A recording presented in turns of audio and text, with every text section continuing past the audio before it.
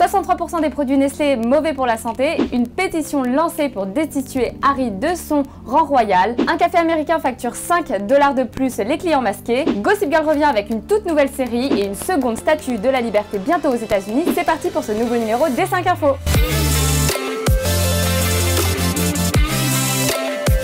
On commence les 5 infos avec un bon petit scandale alimentaire. Enfin, bon, c'est justement ça le problème et ça concerne une très grande marque alimentaire que vous connaissez tous, Nestlé. Le Financial Times a eu accès à la présentation interne de Nestlé et a rapporté que ses produits étaient loin de répondre à la définition de santé du système de notation. La marque suisse assure que 63% de ses produits de consommation et boissons ne sont pas considérés comme bons pour la santé. Dans ce système de notation sur 5 étoiles, seuls 37% de leurs produits obtiendraient plus de 3,5 sur 5.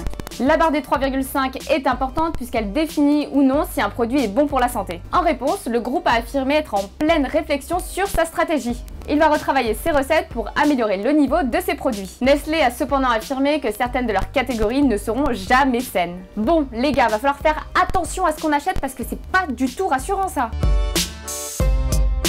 Bon, un peu de people pour poursuivre ce numéro des 5 infos. On n'avait plus trop de gossip de la part de la famille royale britannique. Enfin ça, c'était avant. Lady Colleen Campbell, écrivaine sur la famille royale, a lancé une pétition début mai. Elle invite le prince Harry à demander à la reine de mettre en suspens son style, ses titres et son rang royal, le libérant ainsi des contraintes diplomatiques, politiques et constitutionnelles qui font inévitablement partie du statut royal. Allez, on reprend sa respiration. En gros, ça veut dire quoi? Elle demande que Harry soit destitué de son rang royal et qu'il ne puisse jamais accéder au trône. Voilà Colin Campbell, c'est quand même plus simple quand c'est moi qui le dis. La pétition a déjà été signée par 40 000 personnes et, et ben ça sert à rien. Harry est quand même sixième dans l'ordre de succession au trône, autant dire qu'il a quasiment aucune chance d'y accéder. D'autant plus que sa grand-mère est toujours sur le trône et que son père attend lui aussi pour lui succéder. Ah oui mais j'oubliais, ah mais il y a aussi son frère William Bon, vous l'avez compris, ça ne sert à rien, c'est juste du buzz. Bon, moi je continue à me préparer. Des fois qu'un héritier à la couronne regarderait les 5 infos.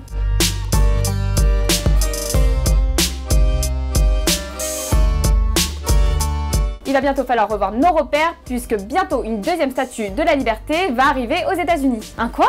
Pas seulement celle qui a à l'entrée de New York? Selon le journal du dimanche, la France va envoyer une deuxième statue de la liberté de l'autre côté de l'Atlantique. Afin de rendre hommage à toutes celles et ceux qui ont permis des deux côtés de l'Atlantique l'édification de la statue de la liberté et qui se sont battus pour ce qu'elle symbolise dans le monde entier, rapporte le journal. La réplique devrait arriver pour célébrer la fête nationale le 4 juillet prochain. Elle va être installée à Washington et cela pour 10 ans. Mais par contre, elle va être petite comparée à l'autre puisqu'elle ne mesura que 2,83 m. Et celle de New York, elle fait 93 mètres. Quoi? La statue de la liberté est française? Eh oui, je vous entends, faites pas semblant. Et c'est là que je me la pète grave, deux minutes. C'est Bartholdi qui en a assuré en grande partie la construction. Elle fut offerte par la France aux États-Unis et arriva au port de New York le 17 juin 1885. Bon allez, je vous embouche un coup sur ce coup-là. Ils sont fous ces Américains, vous vous souvenez, je vous ai raconté toutes les choses qu'on faisait pour inciter tous les Américains à se faire vacciner. Et ça marche puisque maintenant une majorité des Américains se sont fait vacciner. Mais la crise sanitaire a visiblement tapé fort sur le système de certains, qui redoublent d'efforts pour avoir des idées bien débiles. Dans la ville de Mendocino, en Californie, un patron impose un supplément à régler aux clients masqués de 5 dollars. Et l'établissement vous facturera 5 dollars supplémentaires si on vous surprend en train de vous vanter d'être vacciné.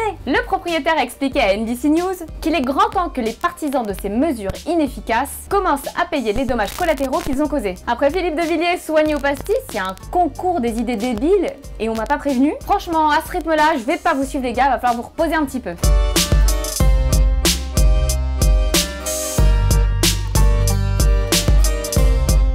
Gossip Girl revient C'est la meilleure nouvelle de l'année, on est d'accord. C'est le 8 juillet prochain, notez bien que la plateforme HBO Max va lancer cette série. Cette nouvelle série va suivre une nouvelle génération d'étudiants des écoles de New York les plus chics, qui vont être à leur tour surveillés et scrutés par la mystérieuse Gossip Girl. Fini Serena, Blair, Nate ou Chuck, place désormais à Audrey, Otto, Max ou Julien. So chic La nouvelle saison comptera 10 épisodes et sera dominée par l'omniprésence des réseaux sociaux. Et super nouvelle, en France, Warner TV va diffuser la nouvelle série. XOXO, Gossip Girl. Voilà, c'est fini pour ce nouveau numéro des 5 infos. N'hésitez surtout pas à réagir en commentaire. Je vous fais de gros bisous et je vous dis à la semaine prochaine.